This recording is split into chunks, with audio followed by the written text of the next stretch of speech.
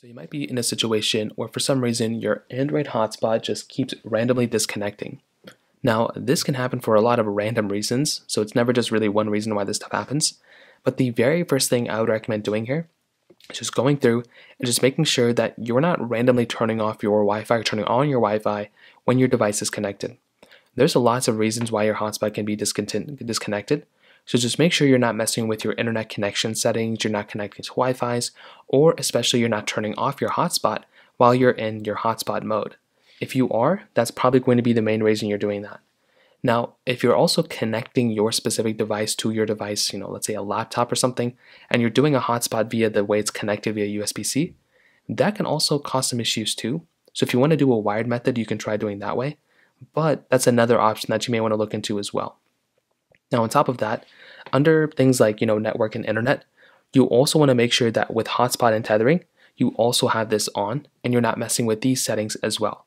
Also, with USB tethering, like I mentioned before, you want to make sure this is toggled on and you're not messing around with any of these specific settings. You probably just want to make sure Bluetooth tethering, tethering is on there too. So that those are pretty much the main high level things that people can mess up.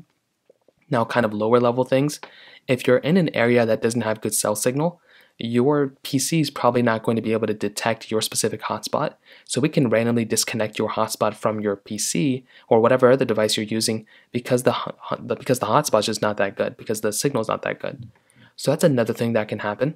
Also, if you have the ability to doing so, restarting your Android phone can probably end up fixing the problem too. So just hold down the buttons of restarting your phone.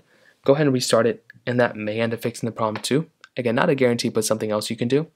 And if you have the option to, I would probably recommend just seeing if you can update your specific Android phone. So what I would recommend doing here is just going inside of your system settings, just like this, click on system update, and pretty much just go through and basically update your Android phone if you have the capability of doing so. So that pretty much covers it up. If you have any other thoughts or questions, let me know in the comment section below. The like button that mean so much, but definitely hit that subscribe button. More importantly than everything else, I love every single one of you guys. Hopefully I'll catch you guys in the next video.